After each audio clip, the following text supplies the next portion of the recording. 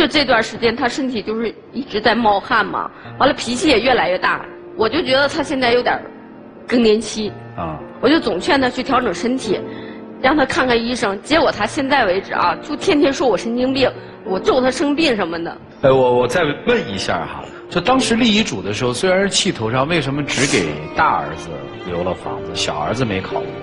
家里存款都给小儿子。哦，多吗？不知道。有多少钱您不知道啊？六位数、七位数？这个个人隐私。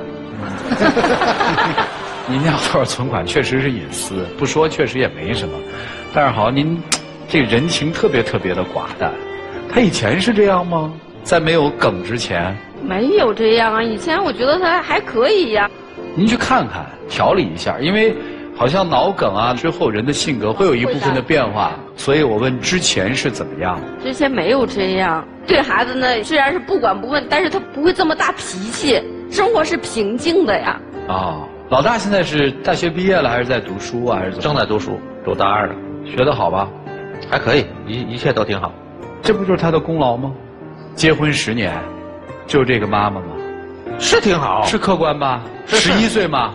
赶上孩子青春期嘛，跟青春期的男孩磨合嘛，嗯，磨合的不错吧？是，然后两个人自己又要了个儿子，这儿子带的算是宠溺吧，也还算健康吧，有点过分宠，不让我接触孩子的教育，他总认为他做的对，是因为他一直在批评孩子。我们不争论了，我是想说，您应该看到他的优点，一开始还挺气愤的。后来突然一想，他梗过了，这事儿得另外一个方式想了。这事儿交给你们吧，咱们一起进入丘比特问卷。特殊原因，大家考虑一下啊。对，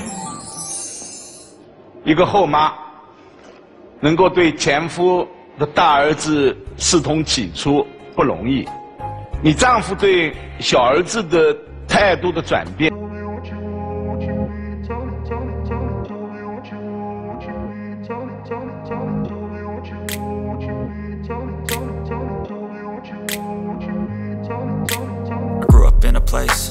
They told you what to chase. Told you how to run the race. Every move was on the page. But I didn't like their way. Had to fight and misbehave. Had to find a way to change. Had to leave to find my way. Caught up in a daydream. I beat my mind up there almost daily. It's how I pass time, no opinions safely. It's how I understand what I want in this place, see Cause everybody wanna tell you bad things. What could go wrong, what fame brings But success is a finicky thing. And if you ain't sure, no, it'll never be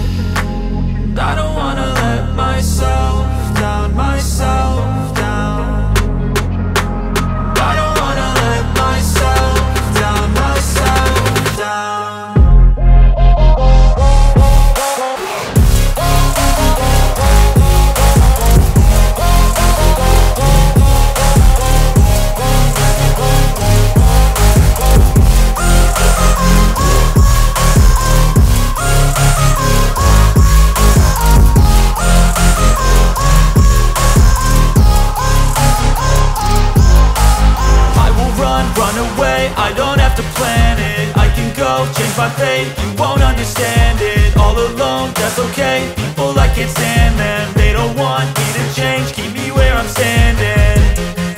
And I don't wanna be where I am. And I want something more, take a chance. It could be possibly my last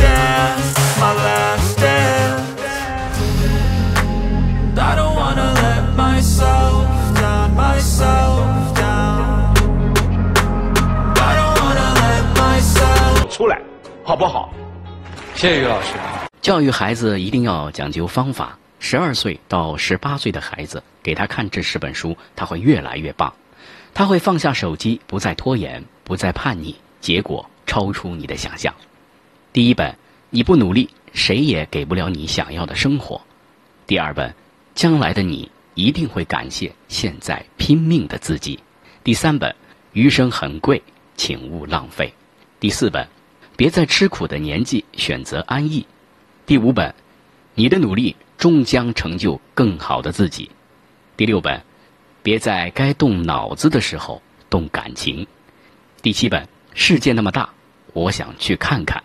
第八本，再见了吧，拖延症。第九本，别让生活耗尽你的美好。给孩子一个机会吧，你的礼物让孩子成就一个更好的自己。